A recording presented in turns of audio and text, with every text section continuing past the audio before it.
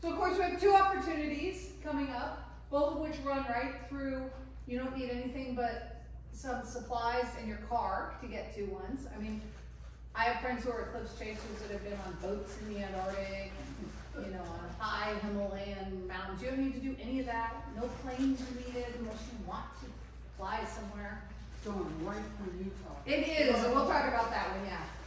So we have two eclipses coming up. One is this October, and that's an annular eclipse, total annular eclipse, and then the one next April is a total solar eclipse. So we'll discuss kind of, kind of what those differences are. That's a great slide. And all, by the way, all, these graphics are off a uh, website called nationaleclipse.com. Mm. So they have all the graphics, they have all the time information for all the cities in the path of totality broken down by state. So if you want to go to Oregon to see that one or whatever, it- all that information's right there. Um, But before we start, I thought it would be a little bit of fun to look at eclipses both from a historic standpoint and also from a scientific standpoint. So a little bit of eclipse lore. Eclipses, of course, have been well documented throughout the millennia. I mean, there are records of them in Chinese literature and on cave paintings in Europe and everywhere in between. So mostly solar eclipses, lunar eclipses also, but if you think about visual drawings that people did um, in, in traditional societies, it's harder to depict the lunar eclipse. So solar eclipses are pretty, pretty spectacular. Like so many other words in astronomy, eclipse is a Greek word, means abandonment. And a lot of traditional cultures, in a lot of traditional cultures, a solar eclipse is, is was seen as the sun was devoured or eaten by a god or an animal or some kind of a spirit. And the thinking was, you know, that the god that that God was unhappy with us humans, so he took the sun away. A lot of cultures, um, this is just one example in Japan, you know, the god of darkness swallowed the sun and villagers offer sacrifices and beat drums to bring the sun back. And today, if you go to a sol- total solar eclipse, you might actually find someone beating drums. So, just saying. Another common, common um, belief in lore is that it's bad to look directly at the sun. It actually is bad to look directly at the sun, but you know, um, it's also considered, was considered bad luck to be outside during an eclipse. So a lot of traditional cultures, like the Navajo culture traditionally, instruct their people to stay inside during eclipses. We actually had some Navajo traditionalists during the 2017 eclipse instruct their villagers to stay inside. I'm Okay, welcome to the 20th century, but So we're they accidentally protected their eyesight Yes, exactly. That's exactly right. without knowledge. Yes. And then in a lot of traditional cultures, mainly in Central and South American um, traditions, it was believed to be bad if you were pregnant to be outside during an eclipse, that this would cause birth defects or possibly even a stillbirth. So those are just different traditional um, stories. You know, you think about the old, the, those traditional cultures and they're so steeped in storytelling as a way to, to educate their populations that, you know, you come with these stories.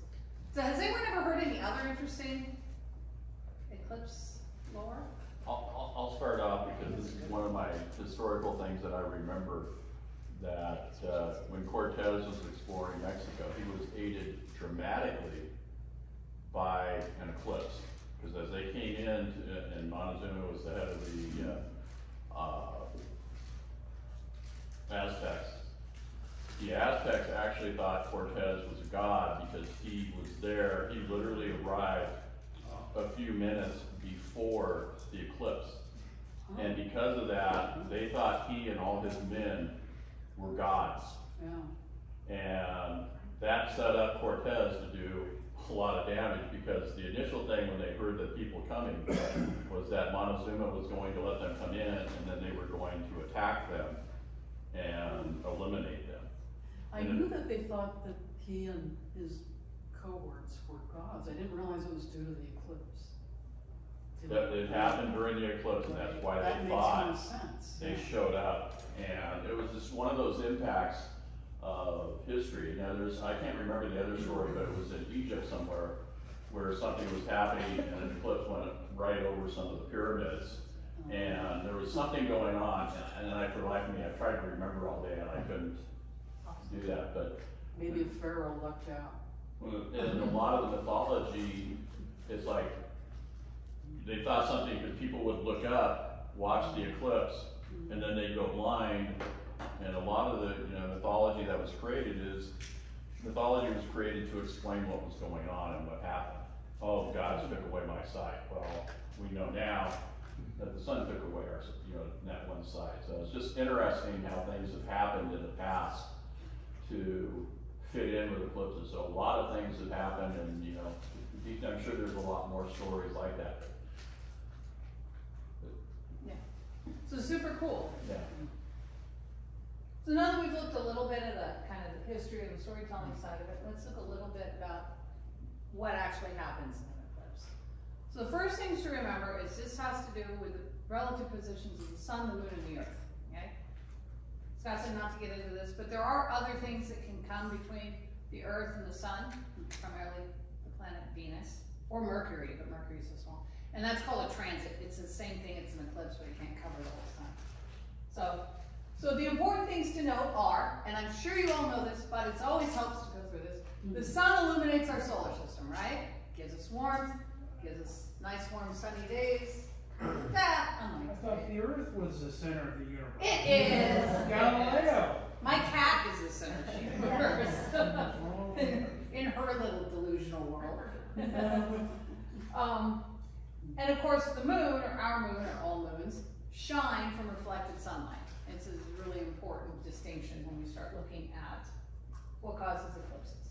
So what causes an eclipse?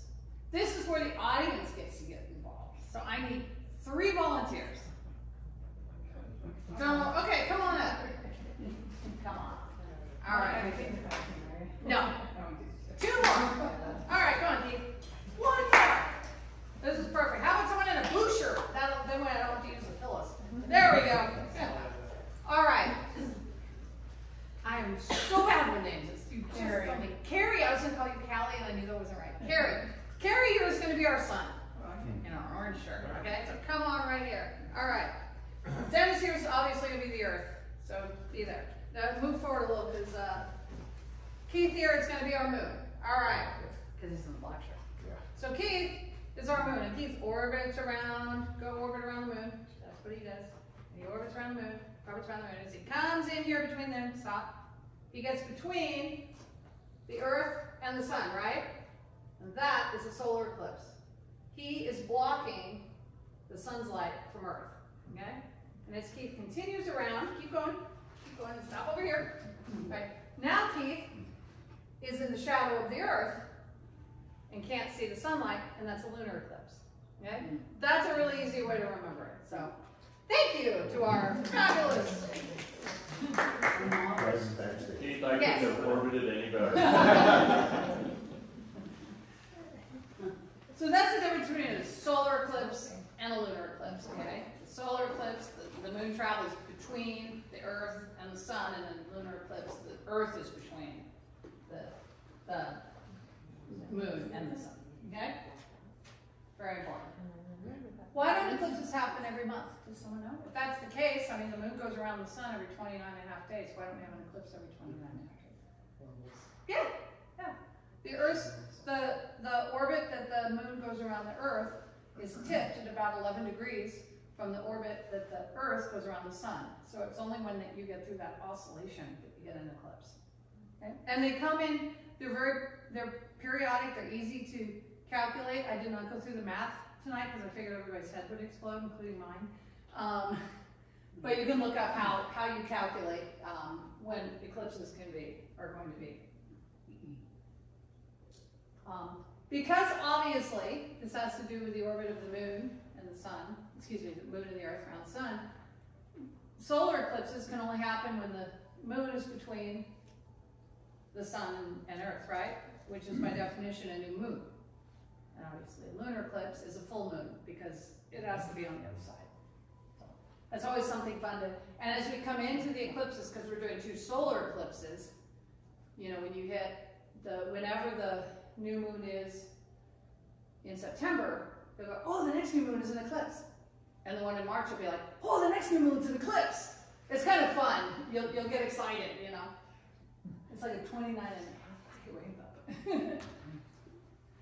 so why can't everyone on the Earth see the same solar eclipse? A lunar eclipse, if you're standing on planet Earth and the moon is above your local horizon and it's in eclipse, you can see it.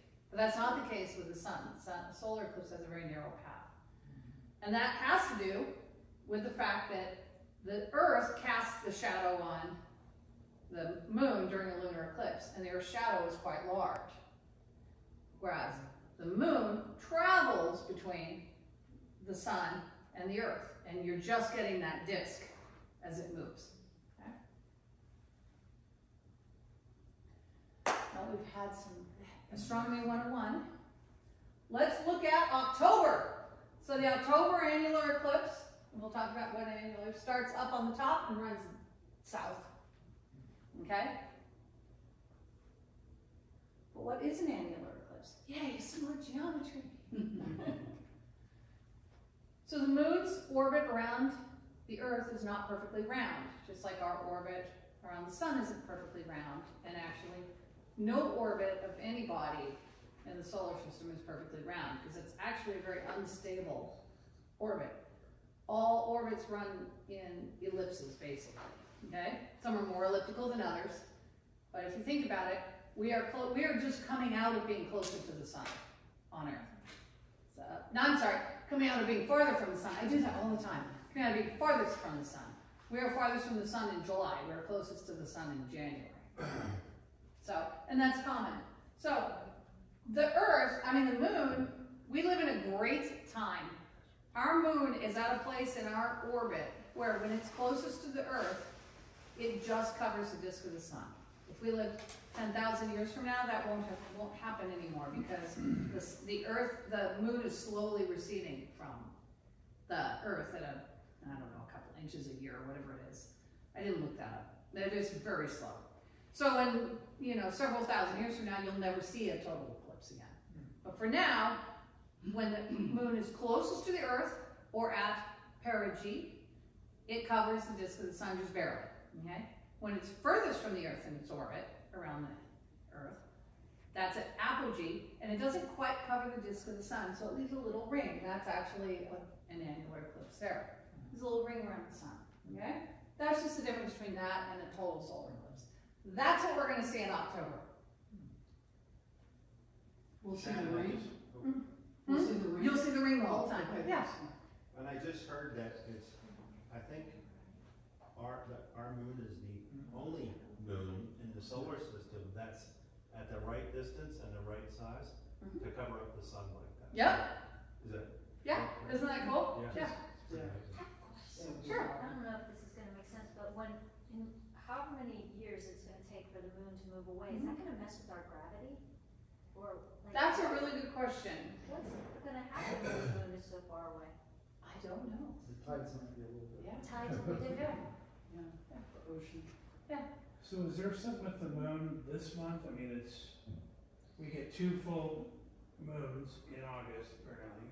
Oh, we do? We get a blue moon in August? Yeah, That's so the, the blue moon in August is supposed to be really, It's a super blue moon this year, in August. so what does that mean? That probably means it's closest to the sun. It's closest to us, probably. So, it, what does that mean, closest to? You just talked about it, but, So it's closest to the Earth. So it's not a perfectly circular orbit around the Right, Earth. So sometimes it's closer to the Earth. Sometimes it's so then the next time it goes around and it's a full moon, it's a little bit farther a little away. bit further away. Oh, okay. That would be my guess. You also have some some atmospheric dispersion that can happen um, in the late summer and early autumn. That's why you get the term harvest moon. So this being close is good in that it's gonna give us that annular Yes. eclipse. Well, it'll be- Yes, exactly. Exactly. It gives us the converse. Yes. Does everybody know what a blue moon is? Sorry, I just threw that up there. Yeah. Yeah, it's the second full moon in, within the same month. Yeah. And this one's different because it's the, it's called the super moon. Yeah. It's on this. Okay, I heard a term today, and, and Lorette and Alex are talking about this all day. Mercury in retrograde. Retrograde. What is that? And they were saying how, how it messes up computers, relationships. Okay, that's astrology, that's a whole different topic. Okay, okay, so that had nothing to do with the moon. No, retrograde So is- Retrograde is a, eh, so the, the inner planets of the solar system, which mean, basically just mean Mercury and, and Venus, they're inner, they're closer to the sun than us. Well, sometimes if you watch them, track them night to night in the pattern of the star field out there, sometimes they will move backwards. That's what In, retrograde in, means, in reference to the earth. in reference And- to, and- Does it mess up everything? no. Oh. But I'm not gonna vouch for it if you're an astrologer, please, please, jump in. So, so also on the super moon moon is Saturn is in conjunction with the moon, so they're like right next to each other. Ooh. Last time I heard, uh, Saturn was in the seventh moon. That's everybody awesome. Remembers there. So we'll have to go out and look at the end of the month, yeah, yeah. So a couple, four, four years ago now, it, it's, it happens sometimes, especially in the late summer when the planets all get aligned in our night sky.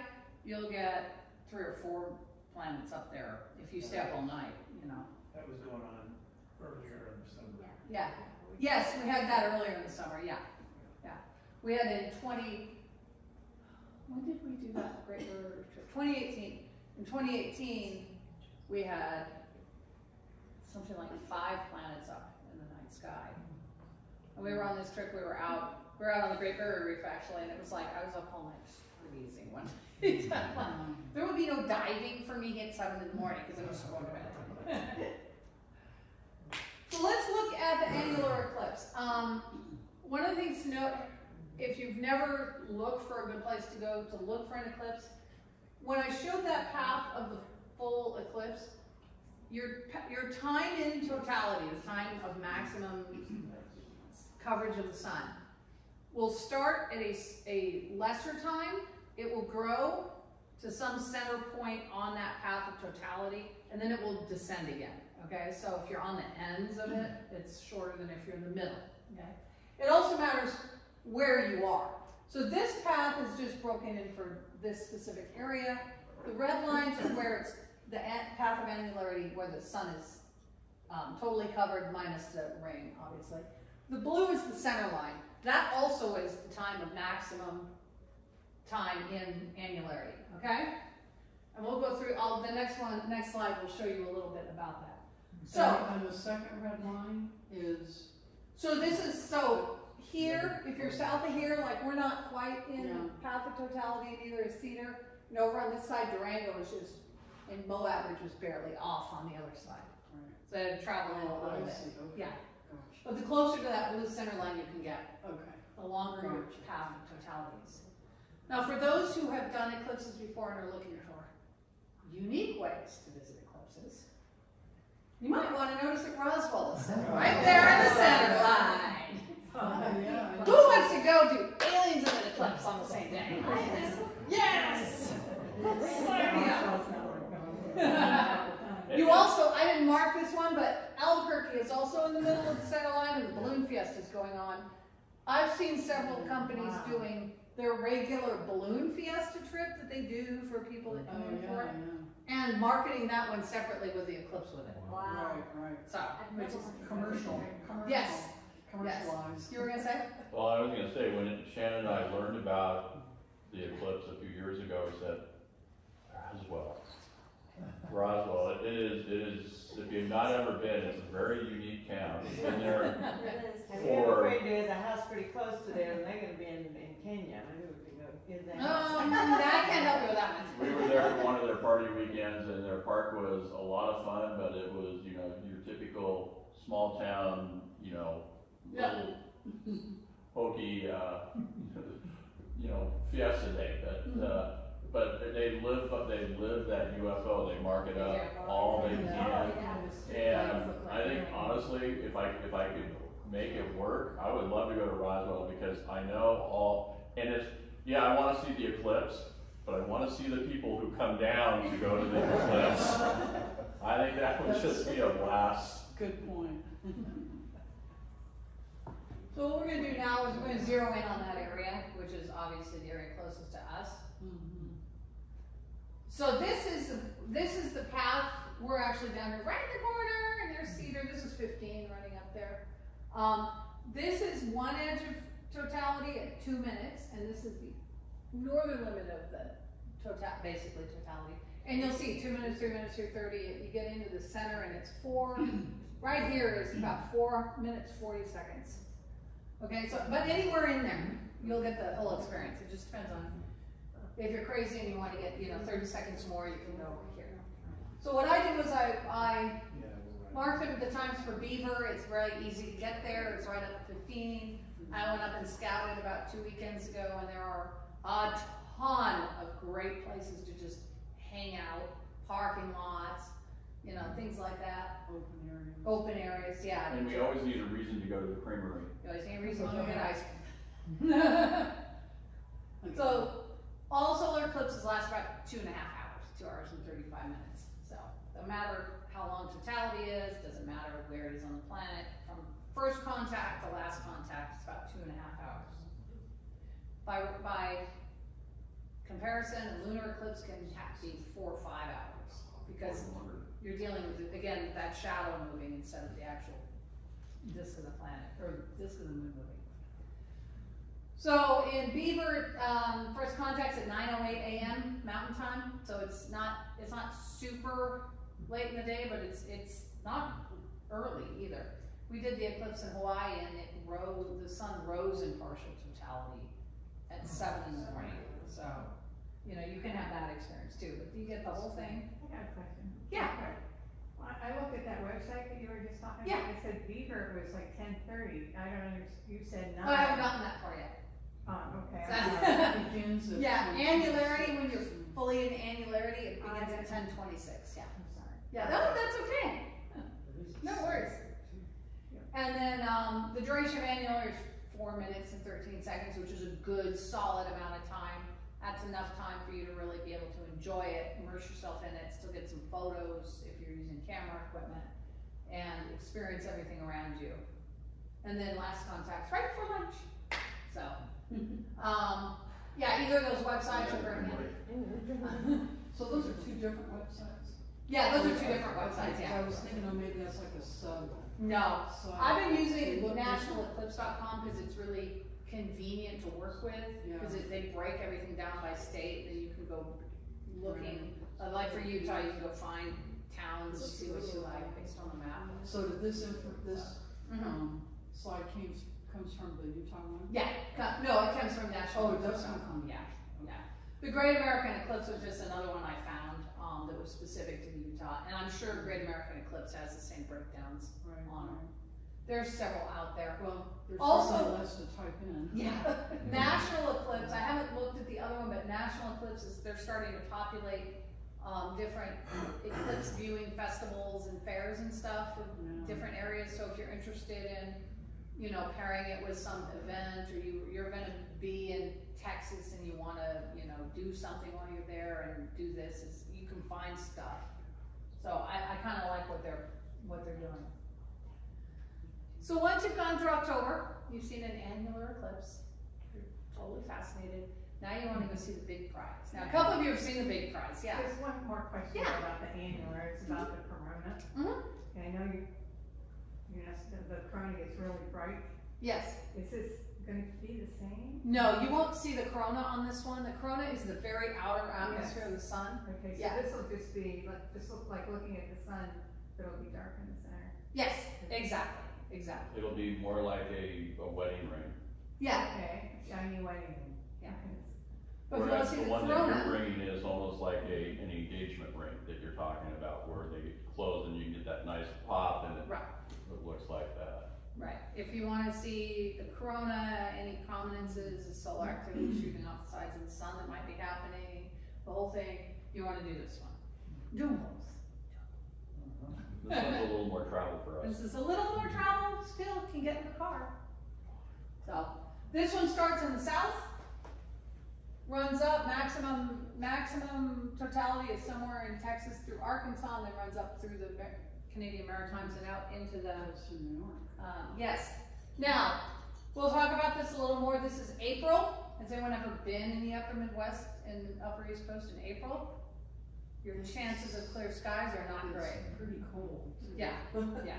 Early April. So, something to just think about. I know the best viewing is down through that, that Texas-Mexico border area. I value my life more than going to that part of Mexico, so. But if you're all for it, go for it. I don't hear about it though.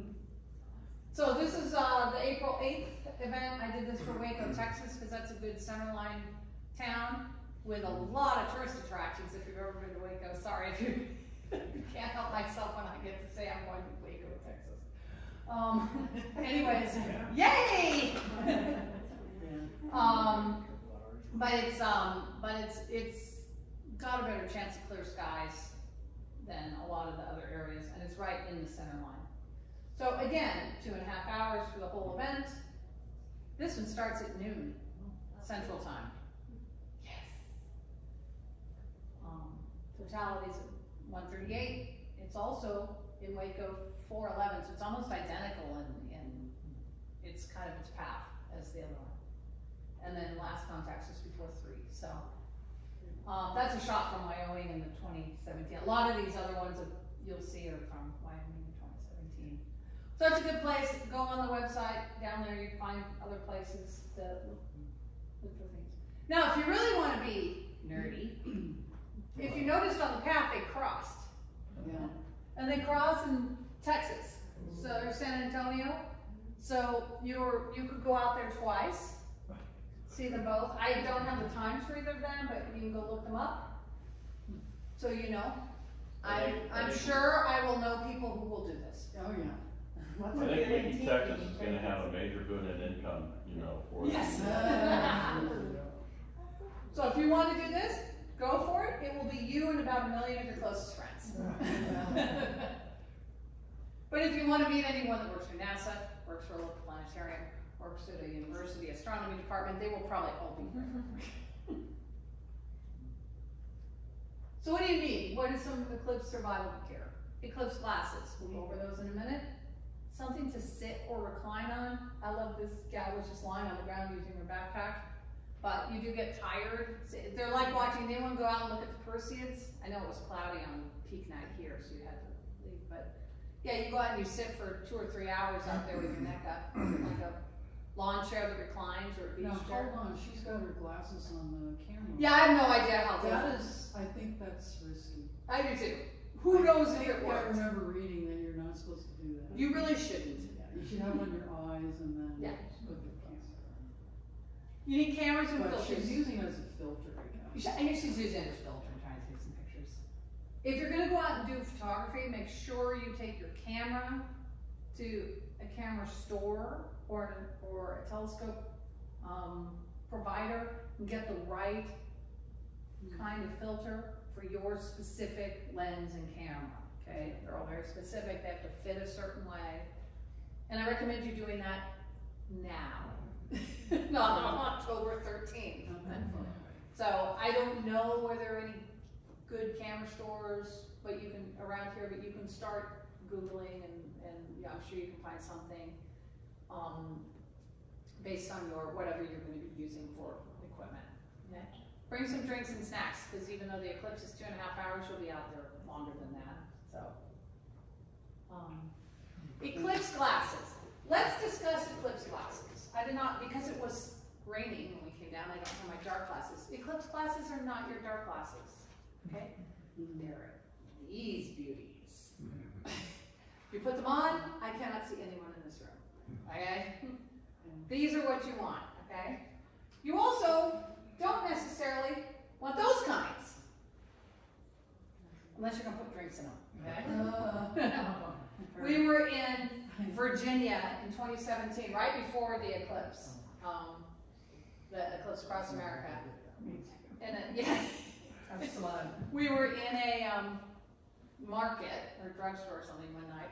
And I turned a corner and I saw these and I started laughing. And he comes over and he says, what's so funny? I said, I would guarantee the store manager told somebody to go buy eclipse glasses. And that's what they bought. I wish I bought them. I wish I had. No, you want those, those are what you want, the ones that go on your funny. ankles, yeah, hilarious. Like, well, you said they were glasses. You said eclipse glasses? I could put a big Slurpee in it. Exactly. Yeah, you might still want those. Yeah. But those are the kinds you want, the ones that go over your eyeballs, yeah. Okay. Now, for those who've done an eclipse, have you ever done a partial eclipse? Obviously, if you've done a total, you've seen the partial. So you can have a lot of fun, you'll see a lot of people out here, out around doing different activities. You can get a cardboard box with, and poke a hole in it, put some white paper in it, you can see the partial eclipse. You can use, this was on the dinosaur dig in, um, Wyoming, so that's a, some kind of a dinosaur, some kind of a sifting mechanism they use out on the dig site. You can use a kitchen colander, anything with round, small holes, okay? Just make sure you bring some white paper, so you can see this is this. It's all little partial eclipses. So it's really fun, and especially if you're out on the site with a lot of kids. There, there will always be kids around if you're with any other people.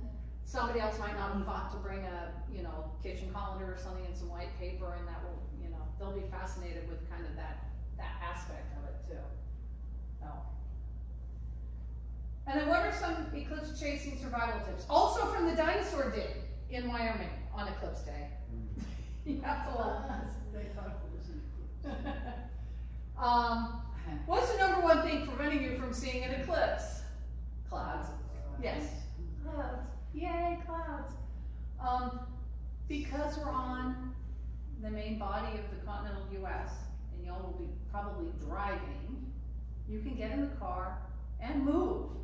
So I reckon you will all become, if you're going to either of the eclipses, you will become the local weather experts. It's like launching this rocket, you become the local weather expert. You get the thing off the ground. You will know every prevailing wind, storm, something that's some tropical storm that's happening in Mexico. You'll know it all coming into the eclipses. Yeah. Yeah, I belong to a Facebook astronomy club that's, um, it's run by the University of Utah astronomer. Oh, okay. professor up Yep, there. yep. And he does these super deep, I mean, my eyes glaze over because I don't understand it, but all the geeks do. Mm-hmm. But he does do weather maps because, you know, they have all these people with telescopes that go out and, and, you know, take pictures of whatever event is going on. Yep. So I think he'll have, he'll have that. So anyway, in other words, I guess the point is, is you can, um, contact universities. Yeah. And try to get the weather Yeah. information. That's a great idea. I didn't know that you had one, but Yeah, that makes sense. has- Yeah. Yeah, his name is, uh, Kurt, I can't think of his name, but anyway, yeah, if you go on Facebook and, um, you can probably join the group. Yeah. It's very informative. Yeah. And ICL, which is the, um, continuing ed for, for Mhm. seniors here, I don't know if Yeah, you're aware of yeah. that. Yeah. The last, before the semester, ended, they had an astronomy class, and it was full of people in the Oh, cool. quite a big classroom. And I didn't check to see their schedule yet, I don't know if it's out or not, but, but, you know, that would be another good contact is through the, you know, they paired, they, they're partnered with Utah Tech, Yeah. so, yeah. so- That's a good idea too. Yeah. So there may be some way to, uh, and it was a, it was a woman, can't think of her name either. Crappy memory. Yeah. Anyway, universities and Um, getting back to the glasses, do you specifically look for a certain rating on them? Or So- You know, you're not getting just a piece of plastic and. These are just my um, hand-me-downs from the last eclipse. They're just a mylar filter. I'll pass them around. I do have some for folks that are here tonight. Do you, Um, I don't know if they have Matrix, yeah. specific ratings. What I would do is make sure you buy them. Again, these websites all are selling them in packs. So, Yeah, I saw it said slash store. yeah. So And if you the go big to thing the- is, if those are scratched, do not wear them. Yeah. Because that little scratch will be burned into your eye. A little laser beam. Yeah. So I always keep them in a plastic bag when I'm not using them. Um, yeah. Suppose a welding helmet might work. You can, yeah, welding helmets work. Um, they're a little dark, but they're fine for partial, yeah. I'm not, I've never tried it, so I don't know what it would be like during the annular, for full annularity. I've tried mine, the sun anyway. Yeah, Works. Yeah, it works, give it a try, yeah. You can also, if you're really fancy, you can use a full hydrogen alpha filter, but that's a professional astronomical piece of equipment. I know I have them lying around the house, everybody? You know? And, even now, they, they've expanded the glasses to where you can get plastic. Yeah. Glasses, like, you know, like your regular sunglasses, they Oh, have really? them like that now. Really It's more expensive, but it's like, hey, if I'm gonna go chase an eclipse every other, you know, every other year, it might be a nice thing to have. Or every three hundred fifty years. Yeah. Yeah. If you're, if you're doing, uh, I look at the prices, I mean, they sell them mostly by bulk, like ten or Yeah. ten to twenty at a time. And if you buy them in bulk, they're about a buck fifty each, if, uh, you buy them singularly, they're five, seven, five to eight bucks each for these little Right, cheap glasses, and yeah, I'm sure once the stores around here start putting them in, they'll be, you know, two bucks to three bucks, I mean. yeah, that's something I was gonna suggest, is if you're looking to buy them, you know, bu- buy a bunch and, as a group or something, I and, do it now because I remember there was a shortage. yep, do them now. It was like I could not find a pair. Yeah, Somehow, I think a, a very sympathetic friend, um, Yeah. had extras and gave them to us. Yeah. and Me and my son. yeah, look for them now, but get them, get them off of one of the, um, Eclipse specific sites, cause they're, they're definitely rated for the Eclipse, yeah. I wouldn't necessarily buy them off Amazon or someplace if I didn't know where they were coming from. I just did. Well, if they work, they work. It showed the certificate Okay. of the, um, the rating. Mm-hmm. Well, if they have, a- if they have a rating on them and, and they're, they've got a certificate, then go for it. You can always get them and give them a quick try and see, you know, what the, You only got two eyes. Yeah. That's the hangup. So, but weather, weather, let's get back to what we need, and weather is the number one thing keeping you from seeing the eclipse, okay? Um, be prepared to move, I know, again, that Hawaiian eclipse, we got up four in the morning, cause the sun rose in partial eclipse, went out to the car to load the car, and it was raining out. And I'm like, we're on an island, our options are somewhat limited. Quick, I came running back and get in the car, we need to go scouting. And we found a place that was, it was still cloudy when the sun rose, but it blew out, we could see totality, and then kind of the clouds rolled in, we got very lucky. But just be ready, and like you said, watch the weather, find a good solid weather site, and just kind of plan your options. Um, get to your viewing site early. You will, yes, yes, normally it takes you an hour and a half to drive all the way to Brian Head, right? So about an hour and a half to Beaver, it'll probably take three hours that morning. It- It's just like, you will not believe how many people will be out on the road. It may not be so bad going, but when you leave, Yeah, Yeah. I mean, when we left Wyoming after going to the Wyoming one, we were in a traffic jam in Wyoming, in the middle of nowhere, Wow. on a two-lane road that literally it was two hours. You know, granted, we went like fifteen miles at least in that time period, but it was like, it was amazing how many people, and people will drive off the road in their RVs and they'll get there and now they're going back to where they, where they're staying. And everybody converges on the ar- arteries of, uh, access, and that's the little two-lane road. Yeah, the little two, two.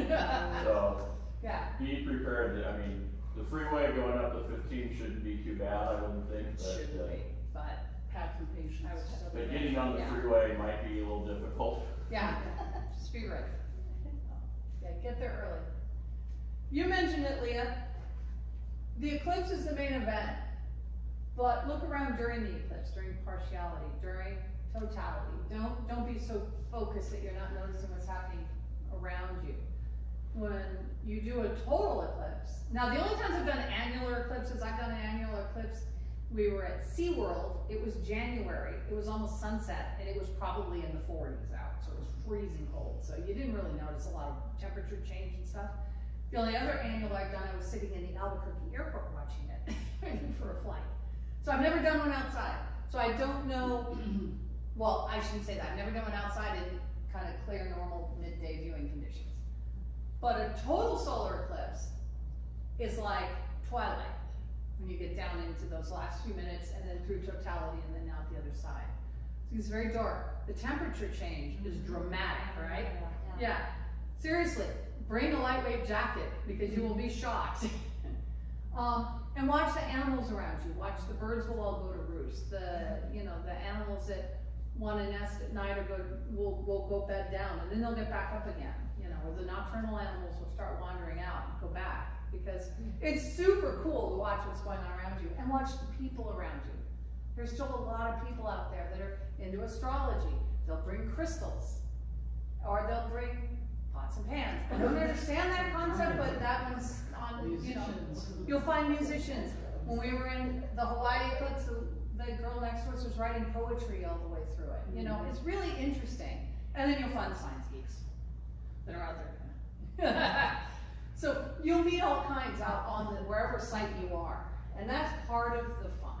And that's that's always what I say: have fun. You know, that's an experience.